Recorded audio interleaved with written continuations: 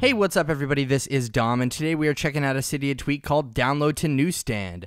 This will allow you to take apps that you are downloading from the App Store and download them in the Newsstand folder. And basically, it acts as a downloads folder for your apps from the App Store. So once it's done downloading, it will move from the Newsstand folder onto the Springboard. And so it'll kind of hold all your downloads in one place. Let's go ahead and test it out here, though. I'm going to download the YouTube app.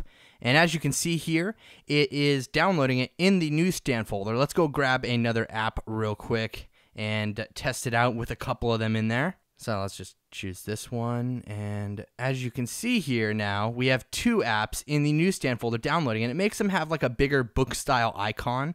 And then once the app is finished downloading, it's going to move to the springboard. Just as you saw there, it disappeared, and now it's on the springboard.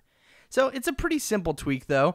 It doesn't add much functionality to your device, but like I said, it kind of does add a downloads folder, if you want to call it that, to your iOS device. So it's called Download to Newsstand. It's available in Cydia in the ModMyi repo, 100% free. Let me know what you think in the comments down below. Thanks again for watching, everybody. This is Dom from appadvice.com, and have a great day.